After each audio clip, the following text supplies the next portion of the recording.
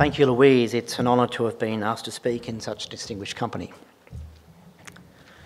The Premier of Ontario, when promoting a far reaching amendment to that province's Bill of Rights, answered all questions about its implications with this simple formula We don't know. The courts will decide. Such an inside flick pass doesn't come too often. Courts being told they can venture into the politically controversial world of recognition, protection of rights, and to tell us what they all mean. Hopefully, no Australian Parliament would be so brave. But what does this attitude really reveal about what's going on? Let us trace the steps. First, the legislature reduces, I want to emphasise that word, reduces to writing, as we commonly say, high questions of human dignity and rights. It then hands to judges the authoritative determination of matters considered so fundamental, inherent, that for generations we consider them beyond human agency to enact. That is, they were beyond the capability of words to express. My first point's this once we capture these notions in text, we make them specially susceptible, if not to reinterpretation, to repeal. What can be enacted in text can be removed. The second is this, and it's a theme which emerged from Chief Justice Allsop's paper there are limits to the illuminating power of text. courts have sometimes been considered to adopt Alexander Hamilton's phrase, he's getting a lot of airtime today, isn't he? The least dangerous branch to the political rights of the Constitution. But the act of judging, as traditionally understood, imports restraints, higher restraints, restraints more built in than those which can be expressed simply in written constitutions. Hamilton saw the courts as the bulwarks of a limited constitution against legislative encroachments owing in part, he said, to the independent spirit in the judges and the fact of it being, emphasise this word, the weakest of the three departments of power. Bills of rights, like written constitutions, are intended to place matters beyond, some matters, beyond the whim of the legislature. But by doing this, we can bring about the very transference to the courts of the power we wish to deprive the legislature of. And this transference has the capacity to affect the ability of judges, the judiciary, borrowing again from Hamilton, to be the citadel of the public justice and public security. I want to explore constitutions as an expression of limits. I want to suggest we need a better appreciation of built in limits, but let's call them for the moment fundamental principles. They're our protection against treating law as merely a tool for some practical purpose some fashionable passing purpose, as distinct from serving the higher ends of justice. Real limits are not to be found in textual commands. There are limits to the extent to which text can illuminate, particularly when we deal with matters of high concern. They come and go and they can be reinterpreted. The sooner we recognise that problem hopefully, the sooner we'll stop rushing to textualise our entire universe. To maintain the landscape of limits to which our Constitution gives expression and to revitalise them, we need to have a deeper understanding of limits themselves. Why do we need them? How do we maintain their efficacy? And importantly, why is it that limits often evade textual expression? Let me develop this a little. Written constitutions are the main ways we say that fundamental laws cannot be changed, as other laws. To admit that there is a law that Parliament cannot change through the usual channels, with the ordinary majority requirement for any act of legislation, entrenchment, is to say that Parliament in this country, at least, is not, as many sometimes say in shorthand, sovereign. Parliament, we recognise in our country, is not capable of making any law, and nor would we have that to be the case. Current teaching in law schools is the sovereign. In contemporary Australia, Australia's majority of people and majority of states combined with Parliament, the giving of assent, so, so forth. The idea, though, of parliamentary sovereignty uh, in some context is there are no laws that Parliament cannot make or unmake, and that no consideration of morality or natural law or higher principle can prevail against a clear statute. Judges are compelled on this theory to apply laws made by Parliament and cannot condemn them on the grounds of incompatibility with fundamental principles of common law. To act otherwise, as the theory goes, at least in England, would be to usurp the legislative function. This thinking is characteristic of two habits of thought. One, legalism, and the second is positivism. Both I want to speak against. The trouble with them is that the whole idea of limits go out the window. They've got lost in the terminology of sovereignty, which at least traditionally brought some concept of restraint. Historically, we fought against a sovereign, a monarch, who asserted divine right and absolutism. We never regarded the sovereign's right to make law and to judge as unlimited. Why would we do it now? I want to explore these deeper motivations fairly briefly because I want to suggest they're the underlying cause of a lot of the problems which this conference, speakers of this conference, are identifying. They're, to put in the words of the Chief Justice, the larger structure within which practical lawmaking and judging occurs. And they affect, I want to say, not in the abstract, they're not ethereal, they very much are pre theoretical commitments to what we do in practice. They govern our daily lives and our daily actions in what we do when we make and we judge in respect of law.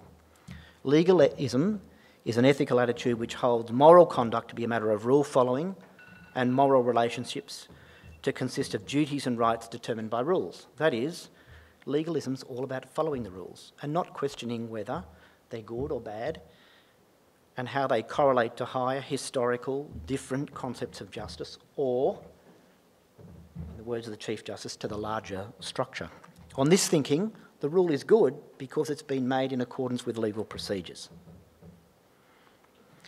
Everything happens behind a veil of sovereignty on this analysis and behind the veil of legality. But that's exactly what they are veils. More and more we experience the rigid enforcement of rules, the kind of mindless adherence we see because it is the rule, unthinking bureaucratic processes, formalistic interpretations, blind adherence to dogma. More and more common, and we all experience them more and more in our daily lives as citizens. We are all experiencing the frustration of dealing with totalising, crushing power. This is our experience of legalism a kind of quarantining of the truly political, the truly personal, and the truly relational into the legal realm. This legalistic thinking makes Parliament a kind of black box.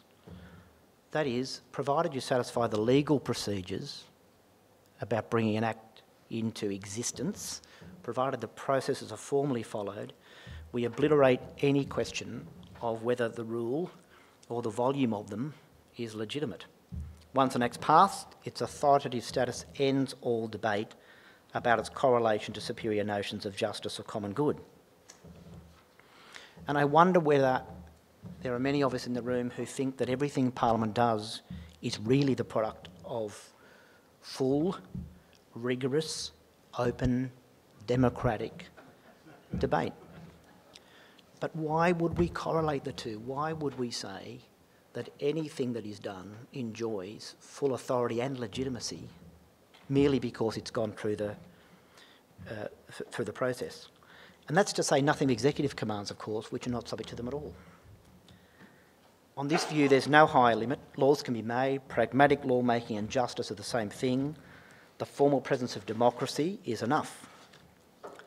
But we live, I want to suggest, because of this, in a time of breathless hyperactivity in lawmaking more and more rules, harsher punishments to encourage compliance with more and more rules, less sensible rules, less publicly supportable rules, more criminal offences, and of course, another agency of the executive to administer the rules and the punishments. The second influence I want to talk about is positivism. Positivism holds this genuine knowledge is that which we derive from our sensory experience, as interpreted through reason and logic. And so, legal positivism, by extension, sees law as the commands of human beings. I've got nothing against reason and logic, but what I struggle with is this that everything that governs our life should be the commands of human beings rather than being informed by the larger structure, by tradition, custom, and spontaneous ordering. On this view, things with tangible physical form are easier to experience. We love the thing we can see and touch. There's an immediacy, an ease, a giving of priority to things we can see and feel, and better still, things we've made ourselves. We like what we've made ourselves and tend to prefer that over what experience and tradition hands down. We'd prefer to do it ourselves, thank you. So text and legislation have become more important. They're positive enactments. They're things of our own creation and they're supposedly within our own control. But where have gone these things the organic, the spontaneous, the grown, the evolutionary, the common consciousness? Where have those things which many of us experienced? The competing, mediating social institutions. Where have those things gone? In their place, we have legislation, codes of practice, policies, regulations, rules, and how many other types of enactments. I've mentioned these things because they're both enemies of real and built-in limits. The kind of limits we make ourselves, I want to suggest, are no limits at all. That is, the thing you impose on yourself will never be a real limit. It's human nature. They're fragile, temporary, and expedient. It's why we see constantly, and I've heard many people in this room talking about it, it's why we see constantly these apparent limitations collapse when they're pushed. They don't withstand at all any pressure. What I've just described seems to me to separate conservatives and so called progressives. I, I, want to use these terms not in a standalone sense, which the Chief Justice rightly said were problematic. Positive, progressive outlooks, for a minute, tend to be constructivist. They, in respect of politics and morality, see those things as able to be constructed and not to be received. Conservatives tend to be realists, and I mean that in the old fashioned sense of realists. Focus on things outside the mind and above and beyond us. Conservatives conceive of these things as given and beyond the exercise of independent human will. In short, conservatives recognise a source of order beyond those that are capable of textual expression they recognise a source of knowledge and wisdom that is beyond the illuminating power of text. These deep seated attitudes infiltrate our lawmaking, and one can see why we've ended up in the position we have. So it's no wonder that text has become the new citadel. But they have less effect, as I've suggested. An unwritten constitution, for a minute, let's compare the two, like the British system, does not give rise to judicial review of legislation or uh, ability to determine its compatibility with constitutional norms, leave aside the sorts of example we just had. But at least there's greatly reduced occasion for the courts to reinterpret those matters. An unwritten constitution subsists in a broad scale and historically dependent way. The process of changing a constitution, which has grown organically, is an incremental one and not within any one body's political authority to adjust.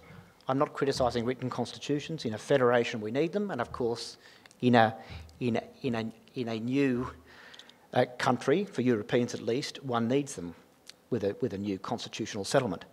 But the point is this to draw the difference that we don't, haven't always conceived in the Western tradition of constitutional norms being as up for grabs as uh, some now suggest. The more sovereignty there is in the hands of lawmakers, I want to suggest, and include judges and parliaments in it, the more there is a need for a foil.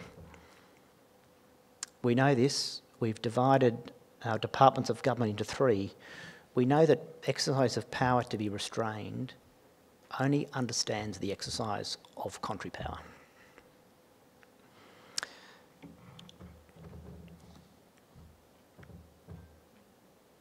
There are very great problems, I want to suggest, if we pretend to sovereignty, if we pretend that it's within our capacity to make and unmake any form of law without any respect for real limits. And the foil here, as the Ontario illustration with which I open shows, is that handing over considerable power to the judiciary risks them becoming the ultimate arbiters of these matters. It involves a recognition that people cannot be assumed to have granted away unlimited and despotic power just because they've elected a parliament. There are limits that even the pop-elected polity must recognise and respect. Former UK Supreme Court Justice Jonathan Sumption has commented on the powers that legislatures lose with written constitutions passed to judges. The determinacy of a written constitution creates, you see, these other problems. The Constitutional Court becomes vested with supreme power to decide what the Constitution might be found to inform, and even impliedly so. And just as the Constitution is entrenched with a written Constitution, so is the judicial ruling upon it. It makes sense. You entrench the text, you've entrenched the interpretation of the text, and of course, it faces the difficulty, of course, if there is to be one, of the change by referendum, which creates other problems. Three problems I want to uh, finish with. One, we're addicted to text and we've forgotten it. We're unaware, so strong is the seduction that we've, we're unaware of it. Human temptation is too strong to see the things which we can see and touch as real and not the concept to which the text is trying to give expression. Written constitutions of their nature try to give expression to fundamental and important concepts. And at the outset, whether it be on the yacht Lucinda or in the convention debates, what the drafters are trying to do is reduce these high concepts which must be respected to text. But the text is only a substitute and only a secondary substitute for the real objective thing. The second problem is something called nominalism. Is this concept Does something have a separate existence from what we've called it? The modern tendency is to say that nothing has an existence outside the mind. It's all really the name we give to something and the description. Once we've given it the name, once we've counted the stars, if you're familiar with the story of the Little Prince, we've captured those things because they're countable. The thing which we've quantified, we own. Richard Weaver, in his 1948 book, Ideas Have Consequences, saw this issue as, as follows whether there is a source of truth higher than and independent of man.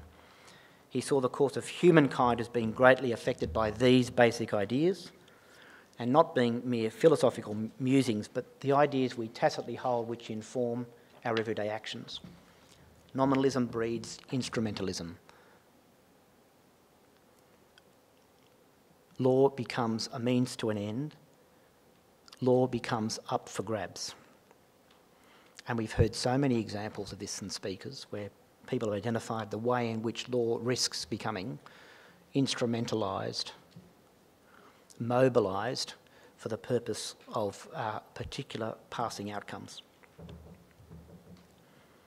The third and last problem is one I see as a collapse of higher laws, I've seen in my lifetime and you've seen in yours, which we used to see as putting boundaries around the kind of laws we'd make and how rapidly we'd make them. In the days when the idea of parliamentary sovereignty caused no real alarm, lawmaking was, we need to accept this historically, a marginal activity of Parliament. We've forgotten that parliaments, governments generally, were not about lawmaking. Until about the mid 1800s, parliaments were about good administration. We can take off some exceptions like the Reformation and so forth. But to a large extent, we had elected representatives to effect competent, good, careful, reflective, deliberative administration and not to um, reform, to use uh, a loaded term. Law was thought in those days to exist, not to be made. Laws were marginal adjustments to the reigning state of affairs. This was a subsidiary, incidental duty of Parliament. You can see how we've slid into this idea of parliaments, in fact, as all exercise of public authority. without really knowing it, these ideas seem to have influenced our uh, view of it and very much authorised a more aggressive, hyperactive, even form of lawmaking. These feelings, that's what they are, feelings of legalism and positivism were already there, but they seem to have emerged more clearly in recent times. It's time I think we asked ourselves this whether we have a legal and political system that centres around a centralised and centralising will, a totalising power, and whether that makes it harder for diverse legal orders to function and organic, spontaneous social groups. That is, whether, think uh, de Tocqueville summed it up years ago, didn't he? The huge tutelary power, he said, that enervates the populace by providing all our petty pleasures, sort of concept. But that's the cost which comes with a hyperactive, totalising power, and I want to suggest it's time to reassess it. In conclusion, if our written constitution is to function as real restraint upon lawmaking, whether it be by judges or by assemblies, we need to be informed by an appreciation of what real built in limits look like. Part of that is uncovering, I want to suggest, the submerged forces that render limits no limits at all. Legalism, positivism, nominalism, instrumentalism are the enemies of real limits. The only real limits that exist are immanent principles of right, fundamental principles, or at least a recognition, this is important, of our incompleteness, our restricted capacity for constructive and forward looking initiative. Good constitutionalism, in my respectful view, requires us to recover a rationale of limits themselves, why we need them, and how to maintain their efficacy. Thank you.